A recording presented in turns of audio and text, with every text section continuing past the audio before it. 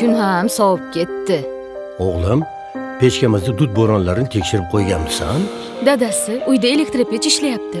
Xonani shamollatib turish esimizdan chiqmasin. Oyi maktabda o'qituvchimiz uyni isitishda ochiq olovdan foydalanmanglar dedilar. Hurmatli yurtdoshlar uyni isitishda ochiq olovdan aslo foydalanmang. Elektr va boshqa turdagi isitgich pechlarni ishlatganda xonani tez tez shamollatishga e'tiborli bo'ling yoqilg'i mahsulotlarini yonishi uchun kislorod zarur. U yongan sari xonada kislorod kamayib boradi va is gazi hosil bo'lishiga sabab bo'ladi.